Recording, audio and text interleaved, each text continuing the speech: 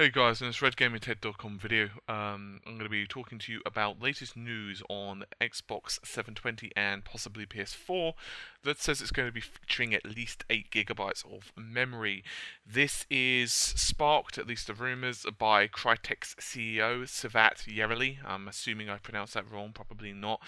Anyway, I'll read out the extract of information which you guys can uh, summarize this from. Anyway, memory is the single most important thing I've always going to be underbalanced. I've never seen a console where memory was the right balance. Xbox 360 underbalanced, PlayStation 3 underbalanced, simply because memory is the most expensive part. Hence, I wish there was a cheaper uh, ways of doing memory so that memory doesn't become an issue anymore. He added, and this is the important part, if they find ways to cheapen the cost to a degree, they could triple or quadruple their memory and just say, hey, we're going to have 32 gigs of memory, that would be quite amazing because memory can do so many more techniques and tricks. Now, if you'll reanalyze that statement where he says, hey, they're going to quadruple or triple the memory, that would obviously say 4 times 8 is 32. So it's a good indication that the development kits that are running around at the moment are actually with 8 gigs of RAM.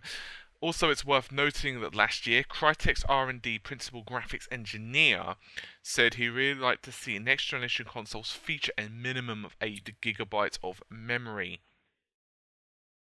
Indeed, the same person argued, my finger pointing at Microsoft slash Sony would be memory side. It's way too low, and the biggest crippling factor from a visual perspective. Off quote. And this is actually something I've been saying in a number of my own videos. I actually was saying just in the last uh, Xbox 720 roundup that I released just a day or two ago that I actually think the Xbox 360 is still a reasonable machine. On paper, it's got um, three, it's got a tri-core processor which runs at 3.2 gigahertz. It's got a reasonable GPU. It's not great, but hey, and it's also got you know a reasonable specification in terms of everything else. The problem is well with the Xbox 360 two things. First of all, there's no hard drive as standard. Um, Blu-ray as well is a bit of a problem as well if you really want me to get technical, but the biggest crippling factor is just the lack of RAM.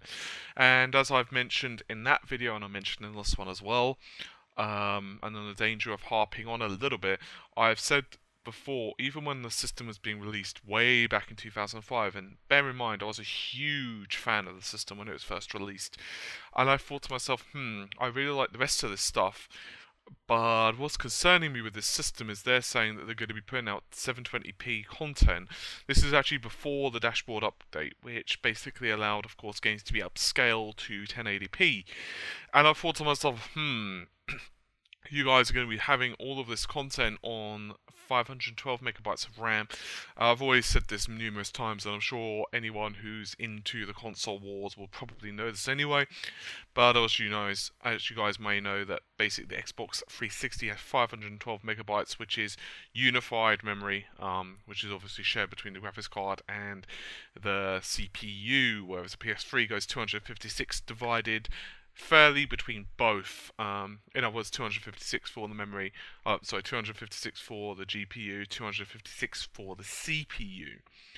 Um, I'm not going to say which technique's actually right. Um, most people do prefer the 360, and by people, I mean obviously developers who are the ones that count.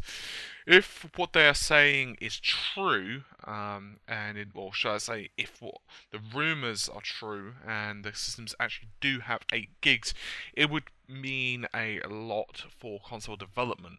Um, one of the big issues for development of games is actually of RAM.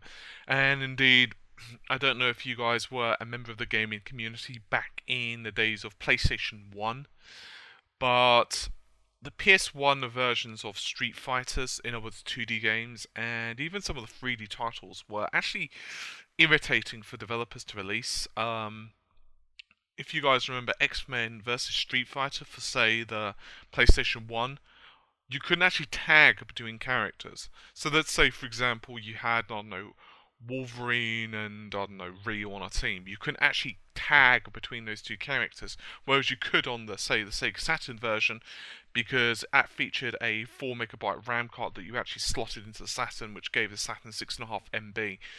Um, and of course the arcade version, you just couldn't switch between them because the PlayStation uh, just didn't have the RAM. I'm not sure if there was a way of doing it with a cheat card if you're both using the same team. I heard there was, but I never owned X-Men vs Street Fighter on the on the PlayStation. But basically, what I'm saying to you is even the, uh, other titles that didn't suffer so badly, such as say Street Fighter, Alpha 2 was a great example of this. The loading times for the PlayStation version were actually pretty horrendous.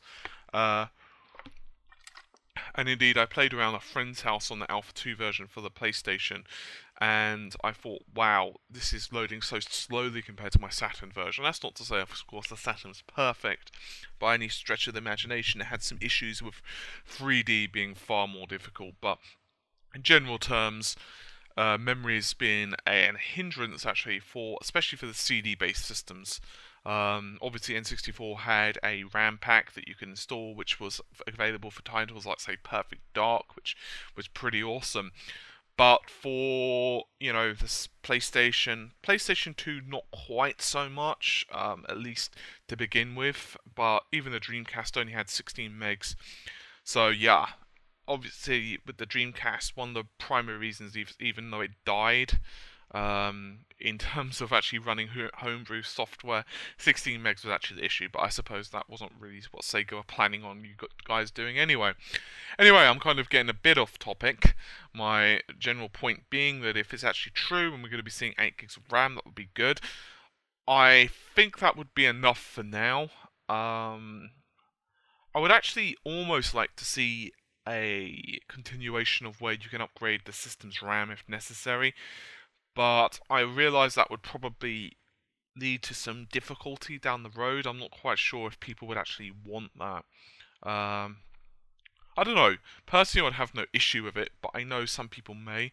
Uh, how they could possibly do that would be either the game doesn't simply run, or it goes into say, hey, you know what? You can't run either this level, or you're going to be having crappy resolution textures. That could be one way to do it. Anyway, um, I'm just going to idle speculation at this point, so I think that's about going to do it for this particular video. So let me know what you guys think, uh, especially if you're a developer or an indie developer, that would be pretty cool. So anyway, take care of yourselves guys, bye for now. If you could comment on your thoughts and leave a subscription or something like that, that'd be pretty damn awesome. Bye for now.